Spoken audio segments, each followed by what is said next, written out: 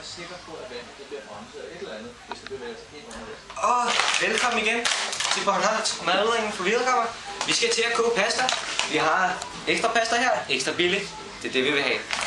Men vi mangler en kok til det. Vincent! Vi har Vincent, vores mesterkok her.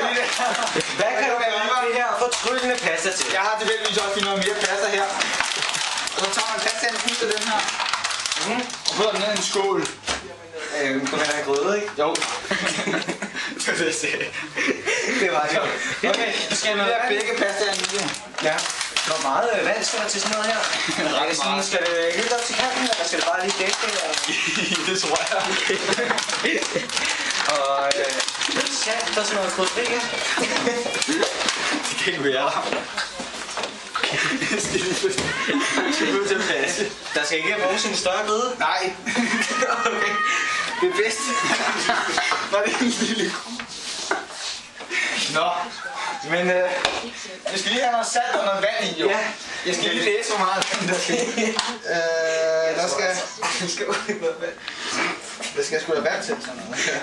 Jo, jo, det skal øh, pastaen koges i øh, 3-4 minutter. Så det skal være alt sammen under vand. Men der skal først være i, og så putter man pasta ind i, når vandet koger. Nå ja, det vidste jeg da godt. Pause, pause, pause, kort.